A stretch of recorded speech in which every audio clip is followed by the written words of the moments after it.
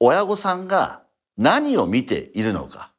親御さんがどういう視点を持っているのか人と比べてしまうとおそらく先ほどのお母さんのようにどうしてみんなと同じことができないのとかっていうことが出てしまうと思うんですね。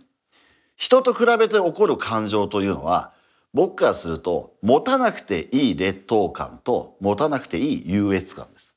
比べるんであれば過去のお子さんと比べてあげてください。